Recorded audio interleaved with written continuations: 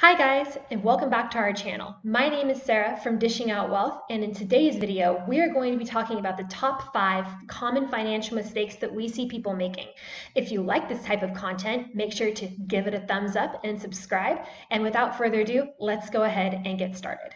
One of the most common financial mistakes that we see people making is not knowing how to budget your income. This is not knowing how much you spend a month, where your money is going, or simply how you're supposed to use it. So, if you're not tracking your budget meticulously, it's really shocking to see how much more you spend when you don't even really think about it. Your paycheck is definitely your biggest wealth creator. So, you want to make sure you control it in order to have it work for you, not against you.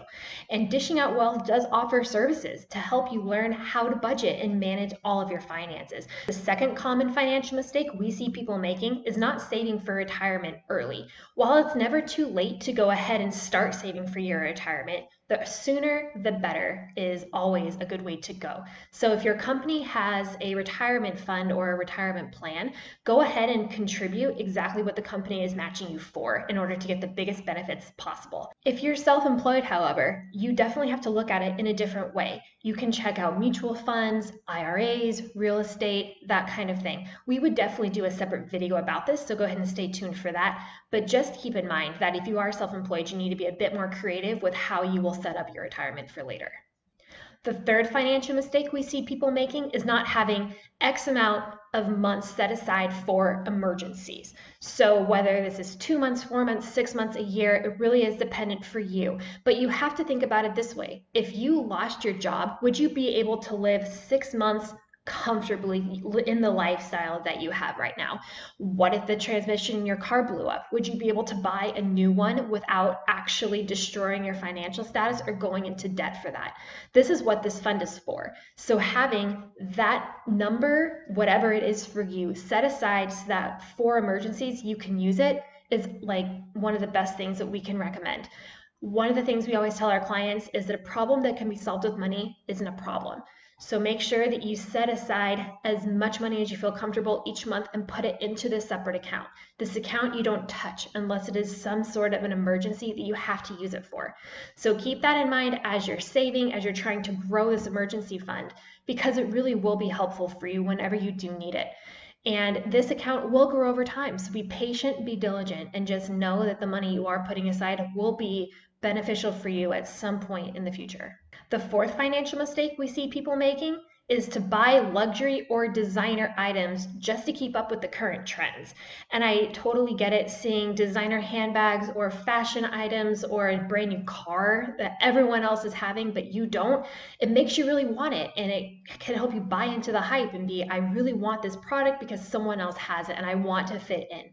That's not necessarily the case if you can't afford it, if you're going into debt for it, if you are making all of these decisions just to keep up with the Joneses, that's not the best situation for you. Make sure whenever you do go to buy a designer or luxury item that you can't afford it. You're go- not going into debt for it. You are able to fit that into your lifestyle without actually detrimenting all of your budgeting work that you've already done. There is nothing wrong with buying these items. Having designer clothes, a brand new car, there's nothing wrong with that. Just make sure that you can easily afford it without going into debt and not making payments on it. Make sure you're saving up, you know exactly how much it's going to cost, and you put it into your budget. So that way, whenever you do bite bullet and purchase that item, you were able to do so with cash. Also, make sure that this is not an impulse buy because you don't want to you don't want to buy it for the wrong reasons. You want to make sure that you're doing it for you, not because the trend is cool on Instagram or your neighbor has a brand new thing. The fifth common financial mistake we see people making is buying things on credit cards and not paying them off. It's very easy to not keep track of how much money you're spending when you have multiple credit cards. You swipe it, oh, okay, the money is just being put on my credit card, and then I just won't worry about it and I'll make a minimum payment later. And then you keep doing it with multiple cards, and pretty soon it just adds up and it can blow up in your face if you're not careful. So, what we recommend is to limit the amount of credit cards that you have and that you can actually afford to pay every single month And of course, this isn't to say that credit cards in and of themselves are bad. Just use them responsibly, pay them off each month, and make sure that you're doing what you can actually afford. Don't have too many credit cards where you are just constantly juggling them and trying to figure out how you're going to make each one work. Limit them and make them work for your lifestyle and specifically for your budget.